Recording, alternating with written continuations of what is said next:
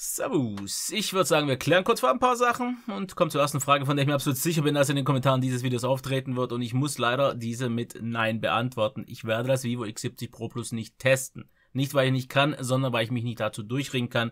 Fragen sich jetzt manche, wieso ich das überhaupt in einem IQ 8 Pro Video erwähne. Liegt ganz einfach daran, für die, die es nicht wissen, dass die beide nahezu die gleiche Basis Hardware nutzen. Leider allerdings auch eben Software und das ist mein Hauptproblem. Über Trading Shenzhen bekomme ich es nur mit Origin OS und mit den ganzen China OS Limitierungen plus auch Vivo Account, den ich absolut nicht aktivieren kann, wieso auch immer, komme ich einfach nicht klar. Allerdings schon mal vorab, die Hardware ist hier wirklich top. Abgesehen von der Kamera sind die auch nahezu gleich. Allerdings wird das eben auch der Grund sein, wieso die meisten eben zu Vivo X70 Pro Plus schielen werden. Kann ich euch sagen, dass die, die Android nur wie Android-User nusen, also diese extra Berechtigung nicht brauchen, absolut klarkommen werden mit. Und es gibt ja noch FunTouch OS, das vielleicht manche hier bekommen können werden, das sowieso deutlich besser sein kann, kann ich halt nicht beurteilen, aber wir beurteilen halt erstmal das und kommen kurz zur Hardware. Ich habe ja die weiße BMW Edition mit dem Sandstone, wo ich euch sagen kann, es fühlt sich echt nice an. Ähnlich der OnePlus 5T, griffig, allerdings jetzt nicht irgendwie, ja, komisch, ähnlich wie Schleifpapier rau, was leider das Case ist, weil das fühlt sich irgendwie eklig in der Hand an. Also da bin ich absolut nicht mit klargekommen. Der Rest der Hardware allerdings top. Der Powerbutton ist super erreichbar, auch der Volume Rocker. Daneben hier das Mikro, da unten natürlich noch Lautsprecher. Gibt es natürlich auch hier mit dem Earpiece, SIM-Karte, USB-Slot. Wir haben ein gecurvedes Display. Ich persönlich mag es. Ich weiß, die meisten werden es nicht mögen, aber ja, da müsst ihr euch eben mit abfinden. Wie auch mit dem Ultrasonic Fingerabdruckleser, wo ich sagen muss, der ist, auch wenn er riesig ist, und ihr seht schon die Fläche, es gibt übrigens auch eine viereckige Version davon, also das, die man hier optional einstellen kann allerdings für mich immer noch irgendwie ein kleines Stückchen zu hoch ist. Und ich greife das Handy komischerweise natürlicherweise immer irgendwo hier und treffe nicht ganz. Aber wenn ihr das trefft, ist der wirklich super schnell. Allerdings gibt es da eine Sache, die man einfach beachten muss. Und zwar wird der Fingerabdruckleser wie folgt eingestellt. Ihr drückt im Prinzip nur mit dem Finger drauf, haltet und dann wird gescannt. Ihr habt hier nicht wie bei anderen Handys eben die Option, dass ihr das mehrfach machen müsst. Das heißt, wenn ihr jetzt so entsperrt oder praktisch freischaltet, gehen die Seiten nicht. Was ich als Lösung gefunden habe, ihr tut einfach nochmal einen zweiten oder dritten Fingerabdruck einscannen mit der Seite eher als Vordergrund. Dann erkennt das nicht unbedingt als den gleichen Finger, denn wenn ihr das mehrmals versucht, sagt er, dieser Finger wurde schon gespeichert. Also nur mal als Tipp. Und dann seht ihr auch schon, wenn ist das Ding wirklich super schnell und reagiert auch ziemlich gut. Aber ich muss jetzt sagen, es ist jetzt nicht weltbewegend und die größere Fläche hat in meinem Fall jetzt nicht so viel gebracht. Ansonsten haben wir noch eine Notch, aber ich habe das ja schon so oft erwähnt, in den meisten Apps, gerade im dunklen Modus, sieht man es sowieso nicht. Allerdings noch kurz ein Wort zur Folie, die ist absoluter Schrott, denn sie ist super schön glatt, lässt sich auch super schön putzen, aber sie ist auch butterweich und ich weiß nicht, ob man das jetzt sieht, aber wenn ich da nur kurz mit dem Fingernagel ein bisschen drüber gehe, ist das Ding schon total verkratzt. Und vorhin beim, beim Anfang dieses Videos bin ich einfach schon nur leicht an die Seite gekommen und habe sie hier schon gelöst. Das heißt, wir können sie abziehen vergessen die und dann haben wir eine Fläche, die wahrscheinlich sowieso deutlich besser ist. Aber die meisten werden wahrscheinlich sowieso Panzerglas nutzen. Übrigens, ich lasse es jetzt einfach nochmal ausgehen. Ihr könnt auch direkt entsperren, ohne dass da was aktiv ist. Also ihr könnt einfach draufhalten. Ist entsperrt. Ja, Vorführeffekt. Bisschen fertige Finger vielleicht. Allerdings ist das Ding ja auch noch vielleicht mit der Folie vorkalibriert und müsste vielleicht nochmal neu eingestellt werden, jetzt ohne. Okay, kommen wir zum nächsten Part, das wäre das Display. Ein absolut geiles Display, sehr, sehr schön hell. Ihr habt jetzt nicht ganz so viele Einstellungsmöglichkeiten hier bei den Farben wie vielleicht bei manchen Antchen, aber ihr habt noch genug. Also ihr habt Standard, professionell, hell. Fand ich ein bisschen komisch und dann die Farbtemperaturen. Ansonsten auch die Umgebungsanpassung. Wir haben eben 1440p, wir haben 120 Hertz, wir haben auch noch so einen intelligenten Umschaltmodus und ich weiß, manche sagen, ich habe leider die Schrift immer zu klein, habe es allerdings auch diesmal leider wieder vergessen zu ändern. Ansonsten gibt es ja nicht wirklich viel zu sagen. Wir haben hier ein bisschen Spiegelung, wir haben ja auch eine leichte Verfärbung, aber ansonsten echt Top-Display und nicht ganz top, aber immerhin sehr gut ist auch der Lautsprecher. Hören wir uns den einfach mal an.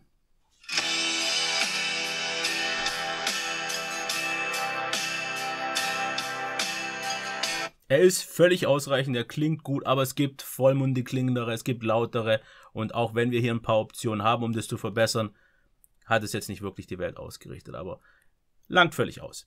Leistung ist allerdings absolut top. Also das Ding ist extrem butterweich. Woran genau das jetzt liegt, weiß ich gar nicht. Aber ihr seht vielleicht auch schon hier, selbst im YouTube läuft mit 120 Hertz. Absolut top. Das Einzige, was ich ein bisschen blöd finde, ist, dass durch die langen Animationen, ihr seht schon, habe ich Animation gesagt? Ich meinte Animation hier das Multitasking sehr, sehr langsam wirkt. Aber der ganze Rest absolut top. wie eben auch das Laden 120 Watt soll's haben. Persönlich habe ich jetzt diesmal total vergessen zu laden, weil es jedes Mal, wie ich angesteckt habe, im Prinzip schon voll war. Also sollen 18 Minuten sein. Lass es 20, selbst 25 sein, spielt keine Rolle. Das Ding ist locker weit unter einer halben Stunde eben voll und hält dann, würde ich sagen, moderat gut. Wobei 4.500 mit eben im QAD-Display und eben 120 Hertz ausreichend sind. Ich würde gern 5000 sehen, aber es ist wie es ist. Habe ich allerdings das Problem gehabt, dass ich in meiner Testphase in einer Gegend gearbeitet habe, wo ich im kompletten Ort keine Verbindung hatte. Das Ding hat sich also zu Tode gesucht, mehr Akku verbraucht. Allerdings unter WLAN muss ich sagen, sah die Sache human aus. Also die Leute, die jetzt eben die besten Akkulaufzeiten brauchen, die werden die hier nicht finden. Die müssten schon auf Full HD runter, die müssten schon auf 60 Hertz runter. Aber es ist kein Dauerläufer, aber dafür ist es ja auch schnell geladen. Aber für Normalnutzer wie mich mittlerweile, wo es eh schon weniger geworden ist, langt mir das völlig. Nächster Punkt wäre die Software und ja, da möchte ich mich kurz halten, weil ich finde Origin OS, ich sag's jetzt einfach ganz hart, also subjektiv absolut scheiße aus eben paar Positionen. Einmal zum Beispiel Smart Task Launcher. Wenn ich die aktiviere, jedes Mal, wenn ich das Gerät ausschalte, ist die aus. Also mega nervig. Jetzt natürlich nicht, also es dauert immer einen kurzen Moment. Zumal ich dann, wenn ich jetzt eben zurück will, brauche ich hier eben meinen Account. Und ich kann den einfach nicht freischalten. Mir wird jedes Mal gesagt, falsches Passwort. Und ich habe zwei verschiedene Accounts. Es ging einfach nicht.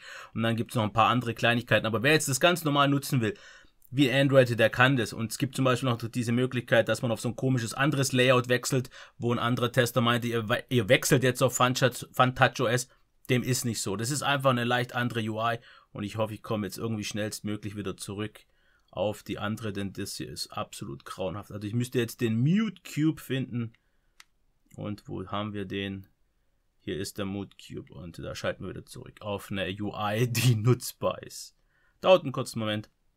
Da haben wir allerdings noch die Möglichkeit, zum Beispiel die Symbole ein bisschen zu verändern, die allerdings hier auch aufgrund meiner größeren Skalierung auch ein paar Probleme haben, Unschärfeffekte und so weiter. Also das ist alles okay. Dann gibt es auch bei Konsole zum Beispiel Leistung, Animation können verkürzen, die Herz abändern und so weiter und so fort. Also es gibt hier schon einige schöne Optionen. Ich will jetzt gar nicht auf alle eingehen, weil sie für mich nicht wirklich ausschlaggebend sind. Das ist einfach nicht so das Wahre. Allerdings ist es leider auch die Kamera nicht und ich werde jetzt kurz mal wechseln und euch das zeigen. So. Ich gehe nur auf ein paar Bilder ein. Ich möchte die ganze Sache relativ kurz halten. Okay, links haben wir das OnePlus 7 Pro und rechts eben das IQ. Aber ihr seht es ja auch schon anhand der Watermark. Und wenn wir da jetzt ein bisschen reinzoomen. Ups, ups, ups. So, da sind wir wieder. Ja, also die Weitwinkel ist besser. Brauchen wir nicht drüber reden. Aber das OnePlus 7 Pro hatte ja auch noch nie wirklich die beste. Ansonsten jetzt mal kurz ein Zoom-Bild. Lasst mich das noch kurz zeigen. Wo haben wir es denn hier? Seht ihr, also die Zoom-Kamera ist schon ein gutes Stückchen schärfer. Farben ist jetzt natürlich eine andere Sache, aber auch hier zum Beispiel, hier komischerweise komplett unterschiedliche Farben. Nein, das war nicht hier, warte mal. Ich weiß, ich bin top vorbereitet. ja, hier war's. Also, das sind zwei komplett unterschiedliche Bilder. Und ganz ehrlich, das OnePlus liegt nah dran. Wo hier das IQ so ein gelbes Feld herbekommen hat, mit so einem blauen Himmel, kann ich nicht nachvollziehen. Aber ansonsten schöne Bilder, aber halt eben im 1 zu 1 Vergleich mit einem über zwei Jahre alten Handy. Also High Dynamic Range sehen wir hier ist nicht wirklich besser. Auch hier hinten haben wir kaum mehr Details, also ein bisschen schon, will ich ihm nicht absprechen. Auch hier oben, allerdings ein bisschen ja, mit so einem Grauschleier, also überlichtet. Also ich will das gar nicht allzu lange ziehen. Die Kamera ist solide, aber mehr als zwei Jahre bei einem Flaggschiff besser. Low Light ist ein Stück besser, das sieht man, wird auch deutlich schneller gefilmt. Deutlich mehr Details hier. Das sieht man auch mit dem Nachtmodus. Da wird es dann komischerweise allerdings ein bisschen zu kühl, das Foto. Das sieht man auch hier nochmal. Also Low Light ist sauber. Da ist der Unterschied definitiv größer als bei den Hauptbildern. Da nochmal kurz Selfie. Auch das ist besser für die, die Wert drauf legen. Ist nicht die Welt, aber es ist sichtbar. Und damit will ich es eigentlich schon belassen haben. Kommen allerdings noch kurz zu den Videos. Es gibt ja diese Gimbal-Stabilisierung und so weiter bei der Ultraweitwinkel und ich muss sagen, ja, Stabilisierung ist nice, aber die Qualität ist absolut Schrott, wie alles andere als eben die Hauptkamera für Videos. Die ist okay, die Stabilisierung könnte noch besser sein, aber da ist es in Ordnung, aber haut mich nicht um. Und deswegen mein Fazit, wer mit Origin OS klarkommt oder eben FunTouch OS bekommen kann als normaler Android-System-User, Der kann problemlos im Prinzip zu beiden greifen, wird's aber in erster Linie wahrscheinlich eher beim Vivo X70 Pro Plus machen, weil das Vivo X60 Pro Plus, das ich letztes Jahr schon hatte, von dem ich echt begeistert war, kameratechnisch, also bei, bei Fotos, Videos jetzt nicht ganz so, der wird auch jetzt zum Vivo greifen. Fürs IQ spricht im direkten Vergleich halt nicht wirklich viel, weil nichts ist wirklich besser. Von daher, ja, ich will da gar nicht groß viel drüber schwätzen. Also das IQ hat mich im Prinzip hauptsächlich wegen der Software aufgeregt, deswegen war die Testphase schwer. Allerdings nur ein Punkt, der mich doch ein bisschen mehr nervt, als man vielleicht glauben könnte. Das Gerät ist leider sehr, sehr lang und sehr, sehr kopflastig. Also da müsst ihr wirklich aufpassen. Aber